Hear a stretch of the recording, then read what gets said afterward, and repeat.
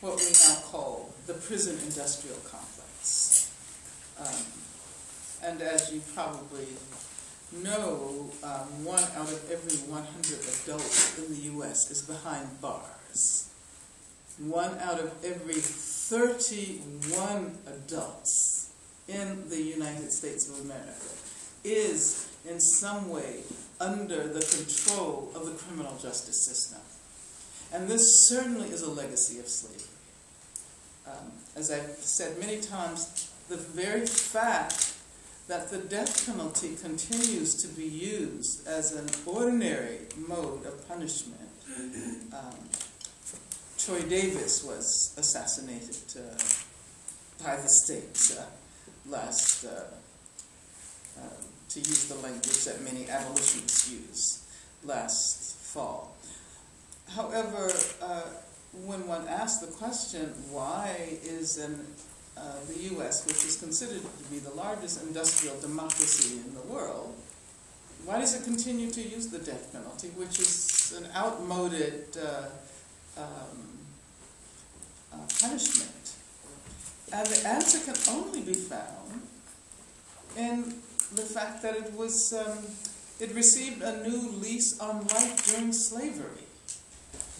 Uh, as a matter of fact, when the prison was introduced around the time of the American Revolution, it was introduced as an alternative to capital punishment and corporal punishment.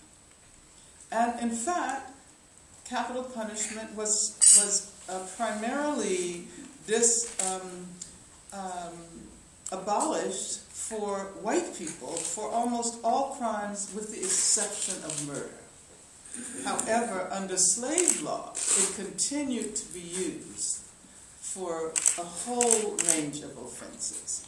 So my argument is that, that the fact that the death penalty still continues to be used can only be explained by the uh, extent to which it um, uh, has, um, it is the um, inheritor or of the punishments of slavery.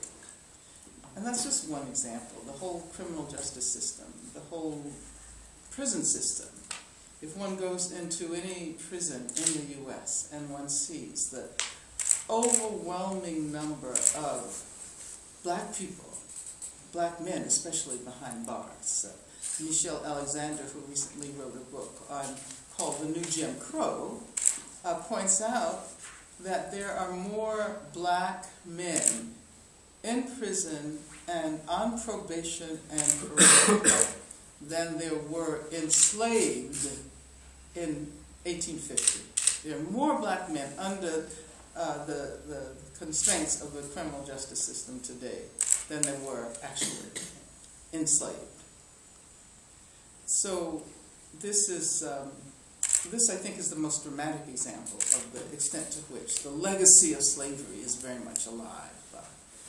And then when one looks at the way in which immigrants uh, from the um, you know, former uh, colonies are treated in countries in Europe, uh, uh, you know, certainly we can't say that we have completely moved beyond colonialism.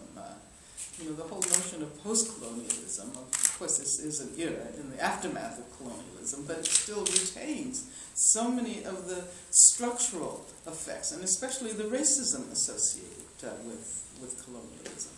So I could talk about that uh, uh, in more